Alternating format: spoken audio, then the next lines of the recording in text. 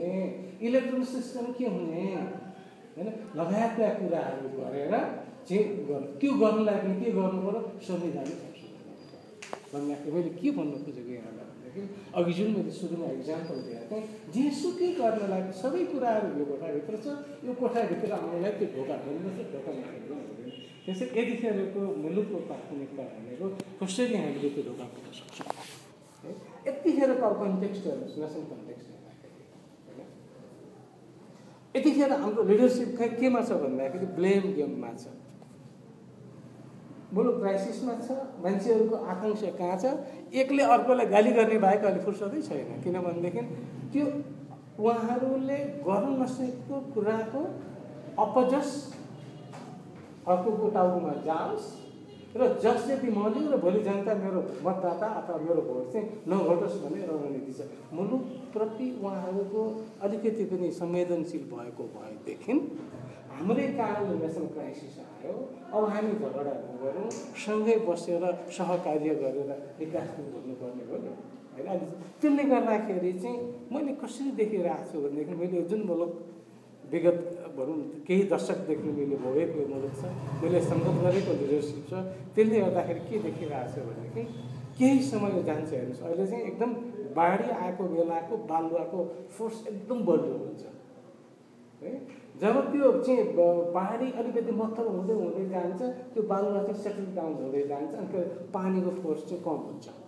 अहिलेको भनेको हाम्रो ऊ भनेको यतिखेरको फेस भनेको त्यो बालुवा चाहिँ एकदम पानीसँग गएको छ त्यो एकदम त्यो फोर्स छ र यो सेटल हुन इट टेक्स टाइम। अहिले अलिकति हेर्दै जानुभयो भने अलिकति भाषाहरूमा अलिकति चेन्ज हुनसक्छ जेठ पन्ध्र गतेको र आजको भाषा यहाँले विचार गर्नुभयो भने बेहोसी चेन्ज यो भनेर चाहिँ यो थिग्रिने प्रोसेसमा छ। थिग्रिन दिनुपर्छ अलिकति। थिग्रिसकेपछि अनिखेर they will start again negotiation अर्को एउटा हामीले सबै डिस्करेजिङ पोइन्ट मात्रै छैन। संसारभरि जहाँ जाँदाखेरि पनि यो कुरा म बोल्छु तपाईँहरूसँग पनि म भन्दैछु कि एउटा संसारमा नभएका केही असाध्यै राम्रा क्यारेक्टर क्यारेक्टरिस्टिक्सहरू हामीसँग हाम्रो लिडरसिपसँग छ संसारको कतिपय मुलुकहरूमा यो लिडरसिपमा झगडा भयो भनेदेखि पोलिटिकल पार्टीको झगडामा एउटा टेबलमा सँगै बस्दै डायरेक्टै गर्दैन। है? त्यो अवस्था छ हाम्रोमा त मार झगडा गरेको छ सँगै त बसेको छ सिक्युरिटी छ। यसको हामीले एप्रिसिएट पनि गरिदिनु पर्ने हुन्छ कि? होला उहाँले निकास दिन सक्नु भएको छैन त्यो अर्को ऊ हो। अर्को सबै इन्ट्रेस्टहरूमाबाट उहाँहरूले आफ्नो अफ गर्न सक्नु भएन। तर सँगै बस्ने सहकार्य गर्ने त्यो संस्कृति चाहिँ हाम्रो छ। त्यो संस्कृतिलाई हामीले जोगाउनु पनि पर्ने। हुन्छ यो चाहिँ हाम्रो सबभन्दा ठुलो पुँजीको रूपमा हेर्छु म पोलिटिकल प्रोसेसमा नेपालले संसारलाई दिन सक्ने एउटा एजुकेसन भनेको यो पनि हो। कसरी? यो चाहिँ विभिन्न उसका मान्छेहरू सँगै बसेर सहकार्य गर्न सक्छन् मुलुकको लागि भनेर। खै अब यी सबै कुराहरूलाई हेर्दाखेरि चाहिँ पर्सनली फेरि मैले अघि नै भने मैले भनेका सल्युसन निकासको कुराहरू गर्ने हो भनेदेखि नट नेसेसरी मैले के निकास देखाएको छु? सबै सहमति हुनु जरुरी छैन। मैले अस्ति केही दिन अगाडि कान्तिपुरमा पनि देखाएको थिएँ तपाईँहरू कति पढ्नुहुन्छ। भोलि अलिक कम्प्रिहेन्सिभ रूपमा अन्नपूर्ण पोस्टमा आउँदैछु लिएर केही बनाएहरू मैले चाहिँ यी सबैलाई दुईवटा विकल्प मेरो आफ्नो मेरो निजी कुरा भन्न पाउँछु है। मैले चाहिँ दुईवटा कुरा विकल्पहरू नै हेरिरहेको छु। एउटा पहिलो विकल्प भनेको चाहिँ हिजो कन्स्टिट्युसन बनाउने प्रोसेसमा करिब करिब मध्यरातसम्ममा अथवा एघार बजे अथवा दस बजे अथवा छ सात बजेसम्ममा चाहिँ अलि अगाडिसम्ममा त जुन जटिलताको का जुन जटिलताको कारणले संविधान बन्न सकेको थिएन त्यो जटिलतालाई चाहिँ निगाह दिने क्रममा गइसकेको थियो। Identity base single identity base state हुने राख्ने कि नराख्ने मुद्दा त्यो थियो। जसले त्यो इस्युलाई लिएर आउनु भएको थियो त्यो इस्यु लिएर आउने साथीहरूले पनि होइन है। अब हामी मल्टाइ एथनिक बेसमा चाहिँ हामी सहमत छौँ त भनिसकेको अवस्थामा। त्यो फ्याक्टरले हामीलाई चाहिँ त्यसपछि संविधान बनाउने रोक्यो असाध्यै यो बुझ्नु गाह्रो छ। मैले पनि बुझेको छैन तपाईँले पनि बुझ्नु भएको छ। यो कुरा बुझ्न अझ धेरै वर्ष त्यसले गर्दाखेरि एउटा हाम्रो हिजो पोजिसनिङ बनिसकेको छ। छ सयजनाले चुप लगाएर बसेका छैन धेरै उनीहरूले एक्सर्साइज गरिसकेका छ। कन्स्टिट्युसनका इस्युहरूलाई चाहिँ करिब करिब सल्टाइसकेको अवस्था छ। त्यसैले मेरो आग्रह चाहिँ पोलिटिकल लिडरसिपमा मेरो डायलग हुँदाखेरि म त्यही भन्छु कि हिजो अब हिजो जुन एउटा उपलब्धि हामीले हासिल गरिसक्यौँ त्यसलाई फेरि जिरो लेभलमा त्यो लुडो खेल जस्तो चाहिँ फेरि जिरो लेभलमा ल्याउनु त्यसलाई बेस लाइन बनाउनुहोस्।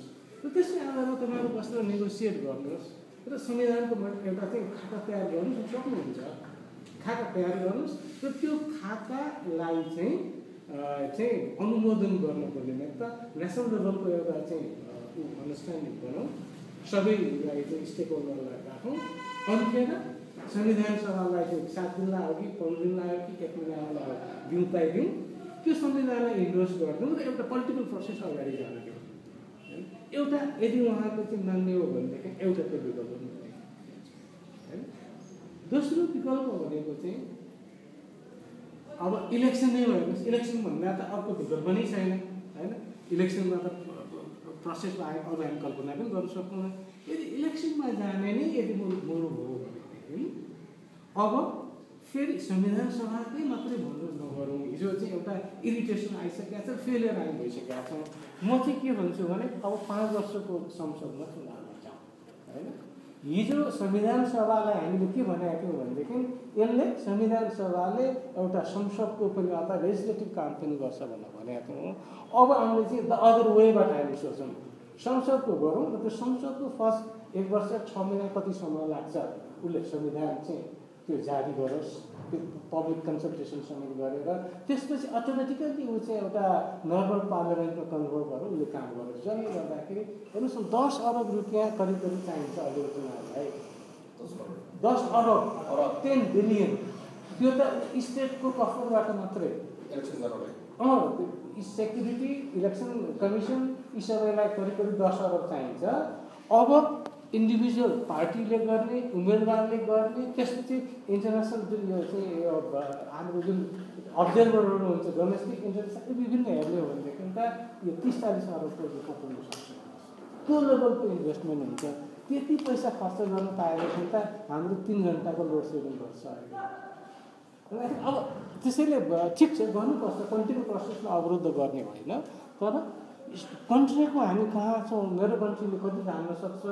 चुनावको नाममा कन्ट्रीलाई कति कङ्गाल बनाउने भन्ने कुराहरू पनि त सोच्नु पर्ने हुन्छ नि भएको हिसाबले। यी कुराहरूको सन्दर्भमा चाहिँ मैले भने कि पाँच वर्षलाई चुनाव गरौँ। त्यो संसदले फर्स्ट केही समय चाहिँ उसले संविधान जारी गरोस् त्यसपछि जाओस्। तर त्यस्तो संसद फेरि भनेको छ सय एकजनाको त हुनु सक्दैन। हिजो एउटा सर्टन पोइन्ट नम्बरमा एग्री भएको छ। त्यो फेरि पनि डिबेटेबल हुनसक्ला उहाँहरूले चाहिँ यो सबै गरेर हामी यस्तो इलेक्सन प्रणालीबाट यतिजनाको संसद हामी बनाउँछौँ यति अवधिलाई चुन्छौँ यसरी चुन्छौँ र यसलाई यो हामी चाहिँ टिओआर दिन्छौँ भनेर एउटा राष्ट्रिय सहमति गर्नुहोस् त्यो राष्ट्रिय सहमतिको आधारमा चाहिँ संविधान संशोधन गरौँ र त्यो संविधान संशोधन गर्नलाई त्यो प्याकेज मात्रै डिल गर्नको लागि चाहिँ एक दिनलाई दुई दिनलाई तिन दिनलाई सात दिनलाई भए पनि संविधान सभालाई निम्ताउँ एउटा लिगल प्रोसेसबाट अन्तर्गत विकास भन्ने हिसाबले चाहिँ जाँदा देशको लागि भन्ने लाग्यो। अर्को सबैभन्दा चाहिँ यतिखेर म तपाईँहरूसँग अपिल पनि गर्छु यो चाहिँ मेरो पर्सनल रिक्वेस्ट हो तपाईँहरूसँग। सबभन्दा विभिन्न फ्याक्टर्सहरू छ अहिले एउटा भाइले भन्नुभएको म त्यही प्रश्नको क्रममा नै म उत्तरको क्रममा जान्छु कि यो के अरे फेयर इलेक्सनको कुराहरू लिएर भएको छ होइन?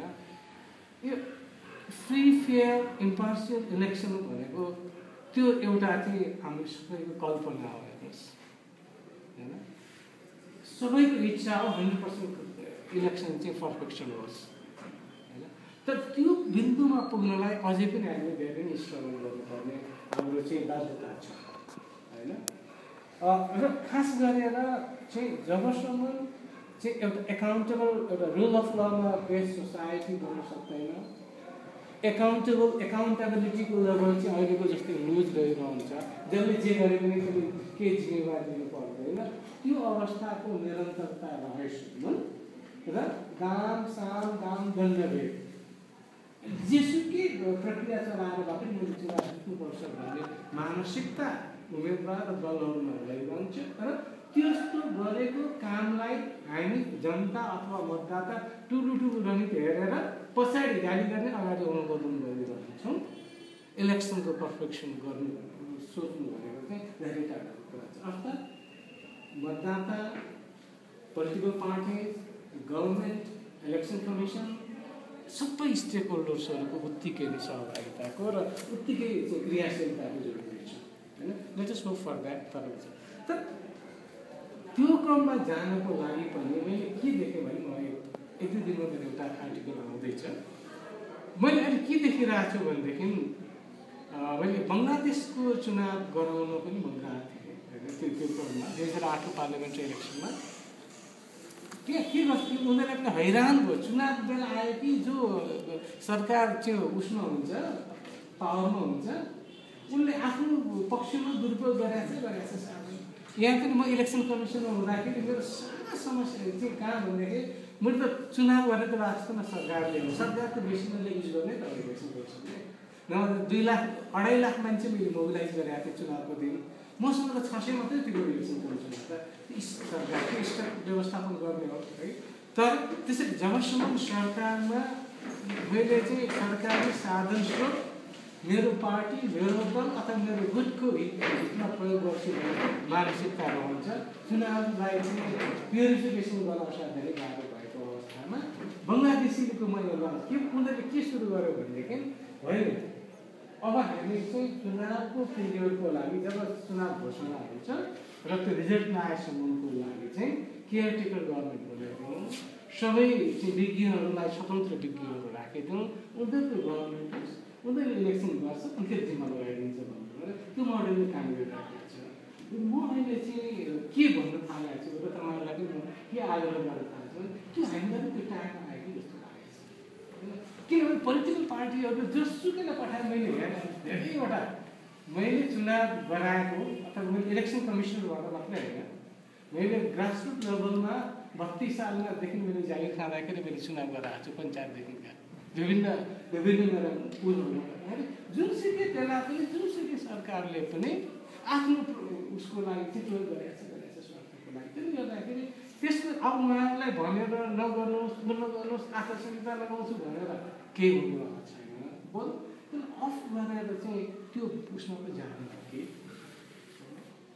अर्को चाहिँ अब त्यो मभन्दा तपाईँहरूलाई थाहा छ। र मेरो भिजन भनेको त इलेक्सनको के हो भनेदेखि यी पोलिटिकल पार्टीहरूले आफै इलेक्सन गरौँ न जस्तो चाहिँ अब युएसमा भन्नुहोस् युकेमा भन्नुहोस् पोलिटिकल पार्टीहरूले आफै इलेक्सन गर्छ।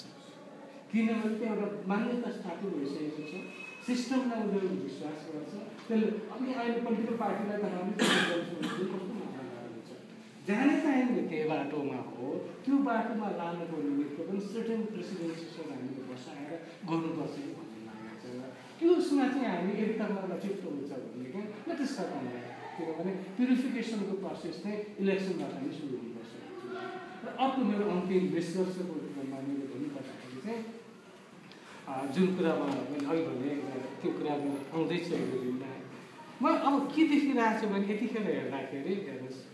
पोलिटिकल पार्टीहरूको कल्चर नेचर हेर्दाखेरि चाहिँ गुट उपगुट सबै हेर्दाखेरि कुनै पनि एक छैनन् र जब सरकार बनाउने बेला आयो भनेदेखि जुनसुकै पोलिटिकल पार्टी पनि फुट्ने अवस्था आउँछ किनभनेदेखि सबैलाई सरकार चाहियो। बरु अर्को पोलिटिकल पार्टीको मान्छे चाहिँ लिडर भयो हुन्थ्यो। मेरो पोलिटिकल पार्टीभित्र चाहिँ अर्को मान्छे चाहिँ नहोस् भन्ने खालको साइकोलोजी छ।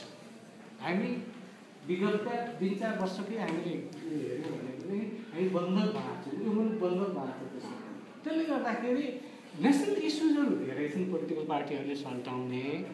ती पोलिटिकल पार्टीहरू चाहिँ त्यो इस्युहरू सल्टाउनुपट्टि उहाँहरू लाग्नुहोस् उहाँहरूलाई अफ गरिदिनु बरु यो ट्रान्जिसन पिरियड जुन आजदेखि भोलिदेखि कि जुन ट्रान्जिसन पिरियड छ नि ट्रान्जिसन पिरियडमा बरु चाहिँ एउटा न्युट्रल उनीहरूको चाहिँ सरकार बनाइदिएर पोलिटिकल पार्टी सरकारबाट तपाईँहरू नबस्नुहोस् तपाईँहरूकै हितमा लागि नबस्नुहोस् होइन?